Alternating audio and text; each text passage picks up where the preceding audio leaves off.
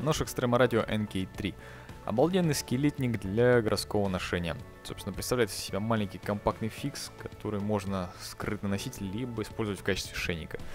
А, имеет стоунвошенное покрытие, также клиночек в стиле танта, который позволяет им уверенно ковыряться и выполнять кучу всякой работы. Столюшка N690, конструкция цельнометаллическая. Ножны из пластика ABS, достаточно тугие и качественные, с кучей люверсов для всевозможного крепежа его на поясе, либо на мундировании, либо где-то на шее.